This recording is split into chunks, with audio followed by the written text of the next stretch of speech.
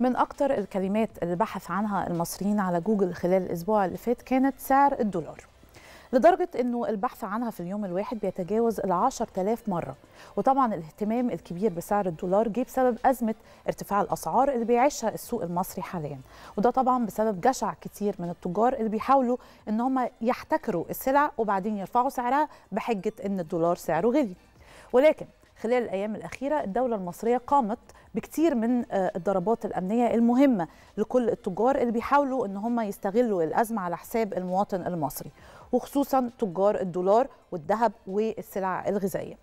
وطبعا الضربات الأمنية دي هيكون ليها نتائج مهمة وإيجابية على الأسعار في السوق.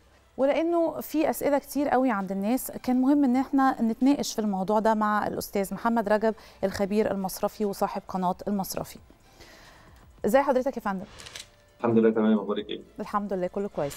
في البداية عايزين نعرف من حضرتك تأثير الضربات الأمنية الأخيرة على سعر الدولار في السوق السوداء والمفروض إنه هينزل يوصل لكام تقريبا؟ طيب وفي الفترة الأخيرة طبعا كان في حملات أمنية كبيرة على تجار السوق السوداء والناس اللي تتعامل في في السوق الموازي أو خارج القطاع المصرفي بمعنى أدق، وطبعا زي ما إحنا عارفين إن الكلام ده مجرد من بقانون من البنك المركزي. فبالتالي كان في حملات أمنية واسعة في الفترة الأخيرة. وابتداء من يوم الخميس اللي فات كان سعر الدولار في السوق السوداء وصل لمستويات كبيرة جدا وصل لمستويات 73 و74 جنيه مع الضربات الأمنية. وكان في قضايا بحوالي يعني في يوم واحد لوحده كان في 26 عملية ضبط لتجار السوق السوداء.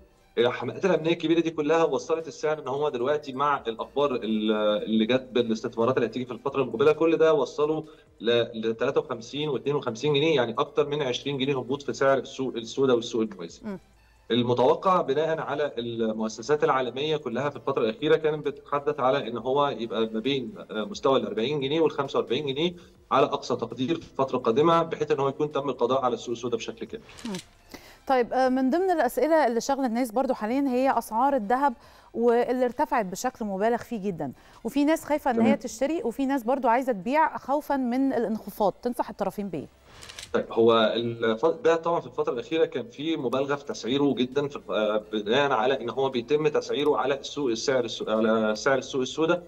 واحيانا بيتخطاها كمان وبيروح ساحب معاها السعر السوق الموازي أو السوق السوداء.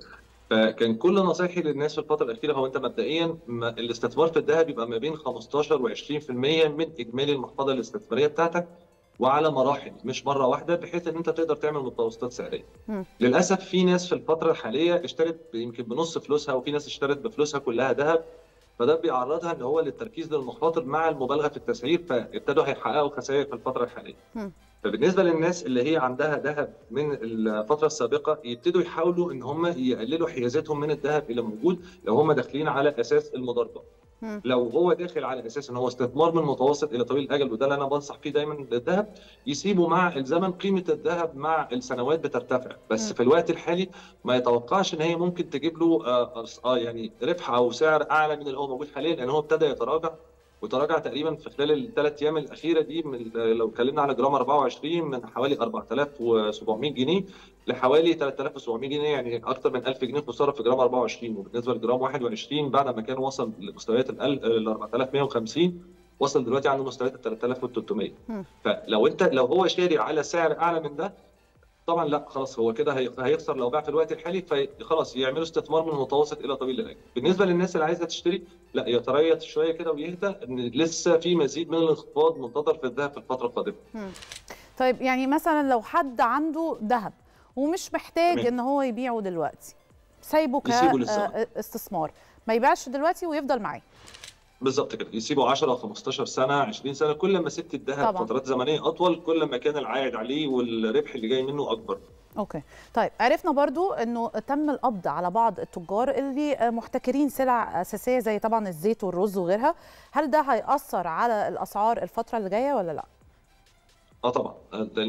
معظم الكميات اللي تم ضبطها ابتدت تتباع حاليا بالسعر الرسمي في السوق بدل ما كانوا هم بيسعروها بأعلى من اللي موجود بقى في حملات أمنية وحملات من وزارة التموين كمان بتنزل بيجبروا التاجر إن هو يبيع المضبوطات اللي تم ضبطها على السعر المرتفع إن هو يبيعها بالسعر الرسمي. كان في أكثر من حالة في خلال الأيام السابقة. طيب. بالإضافة طبعا إن هو الكميات اللي كانت متخزنه دي بتعمل شح في السوق وبتخلي الأسعار اللي حواليها ترتفع فلما الكميات دي تتوفر بتهدي الأسعار وبتقللها طيب في سؤال يمكن يكون بسيط بس الناس كتير بتسأل عليه في في ال social media إزاي نعرف أصلا سعر الحاجة الأساسية هو المفروض إن مجلس الوزراء كان مطلع قرار إن يتم طباعه السعر الرسمي للسلع على المنتج نفسه وإن هو هيتم مراقبة الأسواق بالشكل ده. ففي سلع كتير مكتوب عليها السعر الرسمي بتاعها لو لقيت إن التاجر بيقول لك سعر غير المطبوع على العبوه لا تعرف إن هو ده سعر احتكاري أو سعر مبالغ فيه ما تشتريش من عند الراجل ده وشوف حد تاني يكون بيبيع بالسعر الرسمي. طيب ولما بنلاقي إن السعر أغلى في مكان عن مكان ما نشتريش وخلاص ولا في مثلا جهة ممكن نبلغها؟ طبعا يبلغ جهاز حماية المستهلك أو وزارة التموين في الأرقام بتاعتهم طبعا معروفة يبلغ بحيث إن هو نقلل من عمليات الاحتكار اللي موجودة في الوقت الحالي. أستاذ محمد رجب بشكر حضرتك جدا على المداخلة.